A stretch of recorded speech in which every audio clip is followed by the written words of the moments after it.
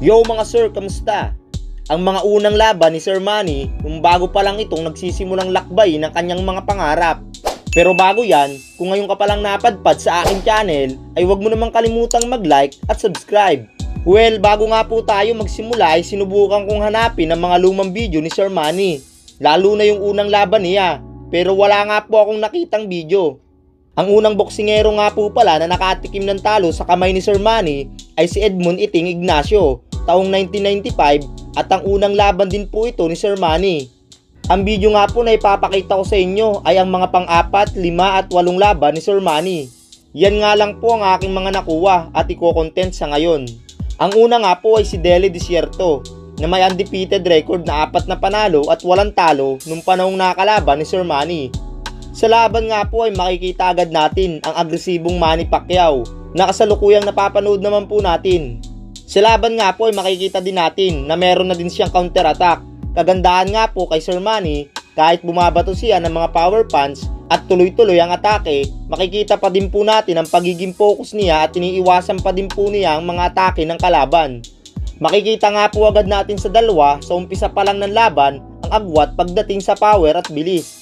Nakakapagpatama din naman po si Desierto. Yun nga lang po, talagang mas malakas ang mga patama ni Sir Manny. Napupuruan nga po talaga si Desierto hanggang sa umayaw na lang ito. Dahil sa sunod-sunod na pinakawalang body shot ni Sir Manny. Panalo si Sir Manny by TKO. Makalipas nga lang po ang isang buwan ay sumabak na uli si Sir Manny sa laban kontra kay Plus Simbangon. Si Simbangon nga po hindi naging maganda ang karir nito sa boxing. Sa 57 fights, 38 dito ay talo habang 13 lamang ang panalo at ang anim ay draw.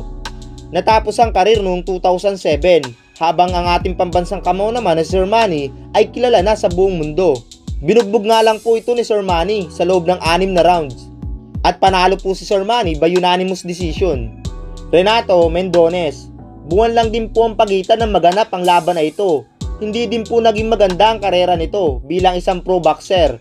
Apat na taon lang po ito at huminto na. Sa umpisa nga po ng laban ay makikita talaga na nagtatansyahan pa ang dalawa. Ibang iba sa nakita nating Manny Pacquiao nung kalaban si Desierto. At ilang saglit pa nga po ay bigla na lang nagpalitan ng suntok ang dalawa.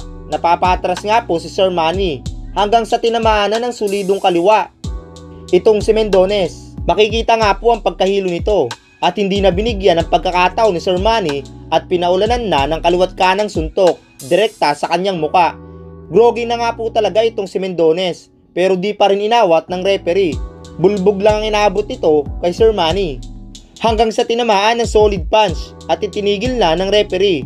Panalo nga po ang ating pambansang kamao by TKO.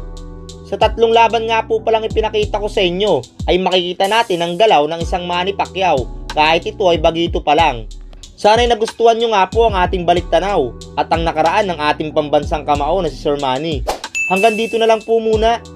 Imillionaire TV nga po pala. At muli, salamat.